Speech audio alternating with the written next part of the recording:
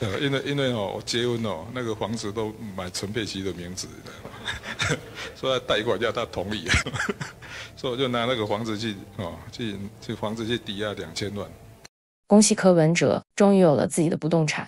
二零一八年选市长还要问佩奇。才能用房子贷款两千万。二零二四选完百天之内，以现金四千三百万购置济南大楼三楼商办，意在备战二零二八。柯文哲受访时证实，该笔钱就是今年选总统时的选举补助款。选举补助款呢，我们参照其他党的一些惯例啊，大概在台民众党规定上是这样：选举补助款三分之一要归中央党部，三分之二可以归归个人。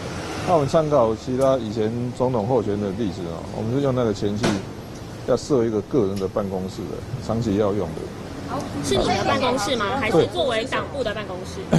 我个人的。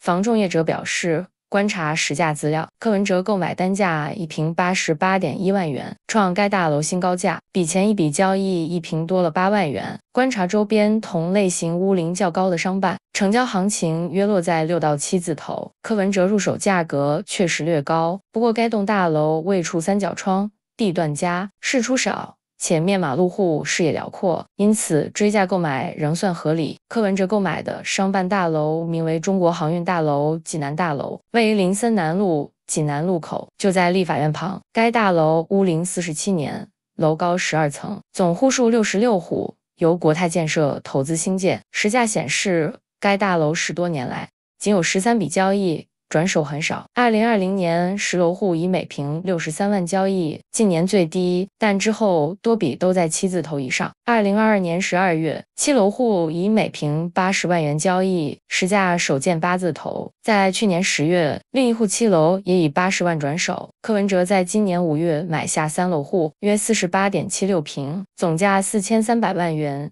拆算每平八十八点一九万元，创下该社区新高价。为什么人家会投给你的？